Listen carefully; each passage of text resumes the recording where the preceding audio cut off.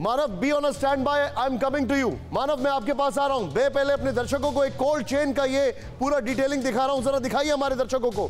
देखिए हमारे जितने भी दर्शक हैं अब ये समझिए जिन दवाइयों को कोल्ड चेन में रखना होगा उनका क्या होगा?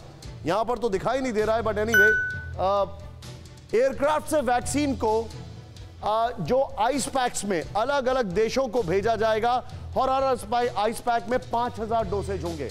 राहुल से थोड़ा जूम इन करें बिकॉज़ अपेरेंटली ये दिख नहीं रहा है नीचे।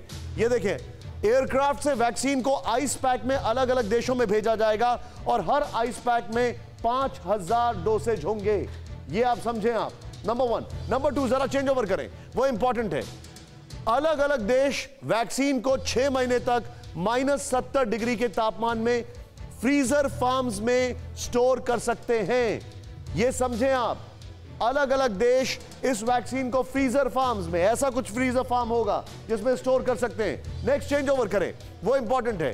ये देखें फ्रीजर फार्म से वैक्सीन ड्राई आइस पैक में 10 दिन के अंदर वैक्सीन वैक्सीनेशन सेंटर पहुँच जाएँगे।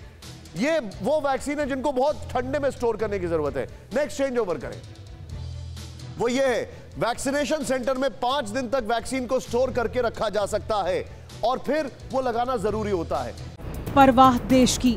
सोमवार से शुक्रवार रात 10 बजे टीवी 9 भारतवर्ष पर।